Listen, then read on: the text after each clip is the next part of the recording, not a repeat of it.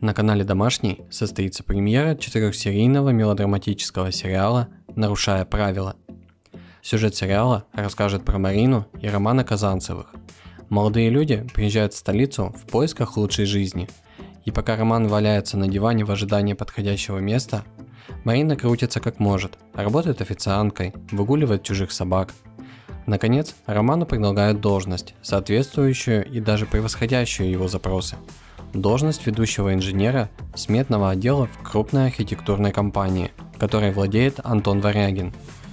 Роман не догадывается, что нанял его Барановский, правая рука Варягина, который преследует только одну цель – сделать Казанцева козлом отпущения в своих финансовых махинациях. Когда Роман попадает в тюрьму, Марина понимает, что вытянуть оттуда мужа можно, только нарушив все правила. Главные роли в сериале исполнят Елена Шилова Кирилл Рубцов, Дмитрий Сова и Владислав Мамчур. Премьера четырехсерийного сериала состоится 4 мая на канале Домашний. Приятного просмотра и не забудьте подписаться на наш канал.